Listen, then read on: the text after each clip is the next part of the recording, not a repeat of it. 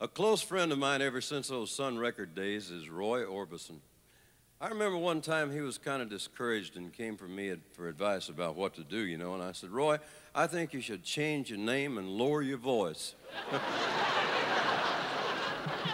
Boy, was that some bad advice because it wasn't too long until he had the biggest record in the whole wide world. It was Pretty Woman, and here is Roy Orbison.